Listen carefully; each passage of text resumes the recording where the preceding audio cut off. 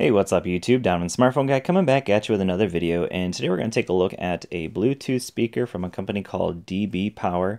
Um, so you can see here that we have a couple of 5 watt speakers. You can see kind of a subwoofer built in behind it. I'm not sure if you guys can see it like I can see it, but we have a 5 watt speaker right here, another 5 watt speaker here, and then a little bit of a subwoofer back here. So um, of course this is a Bluetooth speaker, so completely hands-free. Um, you can play your music through your phone or whatever uh, device you might have. So we have a line in. It does come with the auxiliary cord to plug it into your device. This happens to be a device that does not have a headphone jack, so it won't work with the HTC 11, uh, except with the adapter. So this phone does come with an adapter. But um, so you see the line in, so you can plug it in. Um, you can plug in a micro SD card. So if you have a micro SD card loaded up with some uh, music, you can plug that in. Um, you can plug in a USB as well. Um, that's an input. And then we also, that's just an on off switch. And then this is for charging it. So this USB here would be like if you have a USB stick that has uh, music built into it, you could, or not built into it, but uh, music downloaded onto it. You could actually play it that way. Um, and then in terms of features up here, the buttons, um, obviously you see the little LCD uh, display there.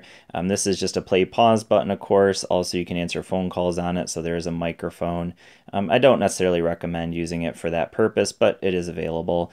Um, if you long press these buttons right here, um, that's the volume up and volume down. A short press is going to give you track forward, track backward. Of course, this one's going to set your alarm. It does have an FM radio built in, and then of course we have Bluetooth as well.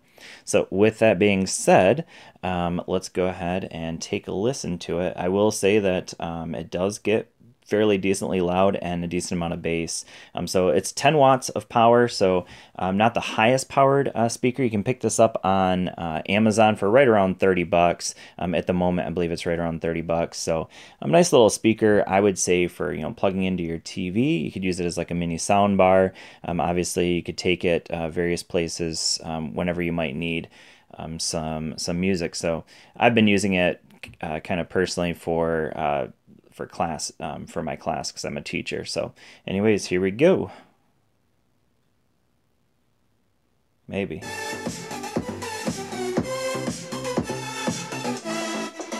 All right, I'm gonna go ahead and flip my microphone around now so you can get a better sound uh, idea what it sounds like.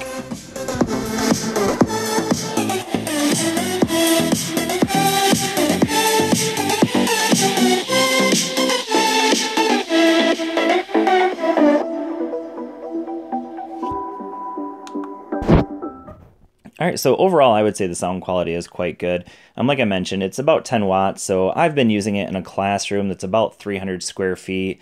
Um, and in that in that setting, I think it sounds quite good. Actually, no, my classroom is bigger than that. It's about 500 square feet. Um, and so for that, um, I don't particularly turn it up. I don't crank the music up for that, um, but it does sound pretty good for um, that room. Now, could it easily fill up that 500 square foot room? Yeah, it can. But I haven't really had the need to do that yet. So no dance parties going on in my classroom. So with that being said, if you have any questions, go ahead and leave them in the comment section. Thanks for watching, and I will see you all in the next video. Peace.